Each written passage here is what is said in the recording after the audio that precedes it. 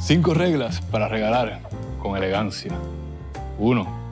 Regala algo que te gustaría recibir. 2. Regala algo que nadie olvide quién se lo regaló. 3. Si es hermoso, no lo tienes que envolver. 4. No digas espero que te guste. Eso demuestra inseguridad. 5.